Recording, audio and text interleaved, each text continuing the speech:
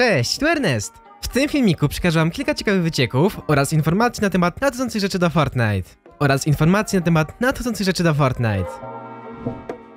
Aktualizacja 8.10 jest jedną z tych pełnych nowości, zmian w balasie gry oraz ciekawostek i ukrytych informacji, które nie doczekały się swojej wzmianki na oficjalnych notkach o aktualizacji. Na przykład kilka skinów doczekało się nowych stylów, dla tych, co już się posiadają. Kolekcja skinów, którym da się zdjąć maskę, stale się powiększa. I teraz elitarnej agencji z sezonu trzeciego może zdjąć maskę.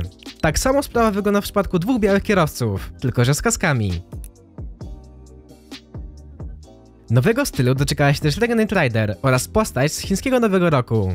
Czy to oznacza, że Regenerate Rider może powrócić? Może. A w temacie wycieków do plików Battle Royale trafiła taka oto grafika pirackiego pistoletu. Jest to kolejna tego sezonowa nowość w orężu, która wkrótce, w nadchodzących tygodniach, powinna wkroczyć na pole walki. Tak samo ciężki karabin piechoty. Co ciekawe, ten pistolet już był widoczny na grafice tego sezonu. Tak samo łuk, ale o tej drugiej broni nie ma jeszcze na razie żadnych wzmianek, więc nie wiadomo kiedy się pojawi. Wygląda na to, że to będzie jednostrzałowiec, którego trzeba przeładować co każdy strzał. Jego zletą za to będą wysokie obrażenia. Nawet dźwięki tej broni dają nam znać o tym, że nie będzie słaba. Posłuchajcie dźwięków strzałów tej broni.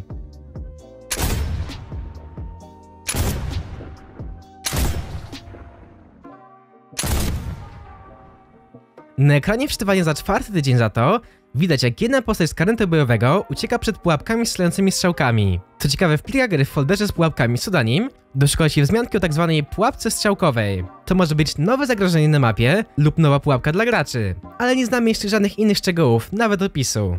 Poza tym do gry powróci typ Królewska Ucieczka. Do sklepu na pewno wróci też skin Dzika Karta, ale to nie wszystko. Z w plikach gry doczekał się także informacji o nowym malowaniu, które wejdzie do sklepu za fodolce. To oto malowanie do broni z w sumie czteroma stylami będzie w sklepie jako zwykły przedmiot. Wszystkie te style są sprzedawane jako jeden przedmiot, ale co ciekawsze, Silox udostępnił nowe wezwanie wydarzenia Wysokie Ryzyko, które wkrótce wejdzie do gry, a z nim darmowe nagrody. Za wykonanie tych wyzwań będziemy mogli za darmo odebrać zbierak, ten sam co był rok temu, backblink diamentowy lamy z trzema stylami, ekran szczywania graffiti oraz smugi spadania. Aby odblokować plecak klamy oraz jej wszystkie style, wystarczy wygrać 5 meczy w tym trybie, co jest bardzo proste, bo w tym trybie grę wygrać może nawet kilka drużyn, czyli dostarczyć lamy do celu. Zbierak otrzymamy już za wykonanie dwóch wyzwań, a smugi spadania dostaniemy po podniesieniu diamentowej lamy w trzech różnych meczach. Nawet nie będziemy musieli dostarczyć do celu. Ci, co za pierwszy razem blokowali zbierak graffiti i tak dalej, prawdopodobnie dostaną punkty doświadczenia. Dalej w temacie trybów to w okolicach Dnia Świętego Patryka do gry wejdzie nowy tryb, w którym to cały dot będzie zielony, z wyjątkiem mapy. Legendarne przedmioty będą tylko w ukrytych skarbach. Do gry do sklepu powinna też wrócić koniczynka oraz ogar wojny z ich całymi zestawami. Dodatkowo z tym malunkiem jako oddzielny przedmiot w sklepie.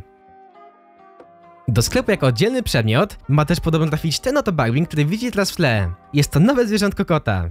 Nie znamy jeszcze ceny, ale wiemy, że pojawi się w sklepie. Do sklepu z przedmiotami za fodolce trafi też takie oto na bronie, nazwane Magma. Jest to chyba moje ulubione ze wszystkich, o których na ten moment wiemy. Do sklepu, ale tego z fałdolcami, trafi za to nowy starter pack. Za kilka tygodni w okolicach połowy sezonu do gry wejdzie jak zwykle nowy pakiet startowy. I w tym sezonie poznaliśmy go wcześniej niż jak to było w poprzednich sezonach. Tym razem cały pakiet prezentuje się następująco.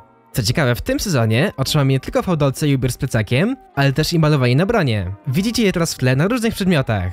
Bardzo mi się podoba. Jest to chyba pierwszy pakiet startowy z odkrytą twarzą, ale na pewno pierwszy z malowaniem na bronie. I to tyle. Ja już dziękuję za oglądanie i do zobaczenia w busie bojowym.